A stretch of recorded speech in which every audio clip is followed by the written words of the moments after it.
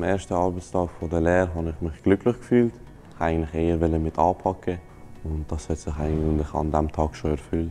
Die Umstellung war eigentlich sehr gross, von der Schule zum Arbeiten zu wechseln. Es ist erstens mal nicht in dem Dörfli, wo man wohnt. Momentan gehe ich in Liestl die Schule und das einmal in der Woche am Donnerstag. In der Berufsschule ist eigentlich äh, auch ein ganz normaler Schultag. Was Doppelbelastung anbelangt, ist momentan so, dass ich eigentlich keine Mühe habe. Ich bin hier konzentriert, in der Schule bin ich auch konzentriert.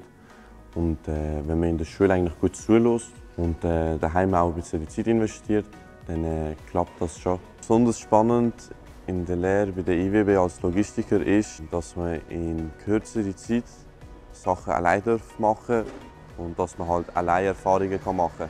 Am liebsten empfange ich Kunden empfangen und dann äh, Schienen bearbeiten und Sachen einbuchen. Mein Lieblingsort ist hier, weil ich hier selber alles planen kann. Also ein typischer Tagesablauf sieht bei mir so aus, dass ich am 10 vor 7 hier bin, mich umziehe und am 7 dann parat bin zum Arbeiten.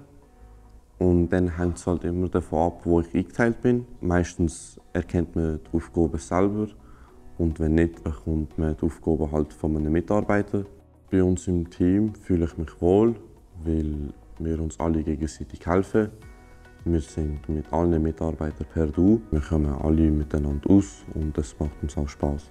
Wir haben eigentlich keine fixen Rituale im Team. In der Mittagspause spielen ab und zu ein paar Leute Ping-Pong. Die Zusammenarbeit mit meinem Berufsbildner ist so, dass ich ihn einmal im Monat sehe, wenn wir so ein Gespräch haben.